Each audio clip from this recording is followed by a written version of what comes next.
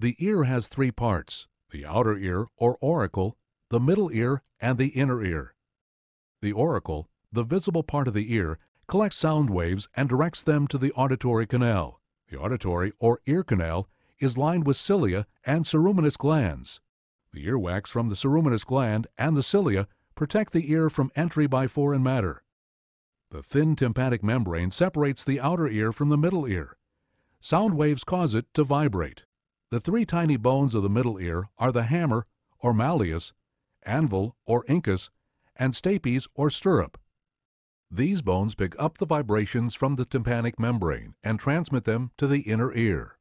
The eustachian tube of the middle ear opens into the pharynx and permits air pressure to equalize between the ear and the outside air. The inner ear is maze-like, consisting of bony and membranous structures surrounded by fluid. The semicircular canals are fluid-filled bony loops that help maintain our body's balance. The cochlea is a fluid-filled, snail-shaped structure that houses the organ of Corti, the true organ of hearing. The fluid aids in the transmission of the vibrations. The organ of Corti changes the vibrations into nerve impulses that are picked up by the auditory nerve.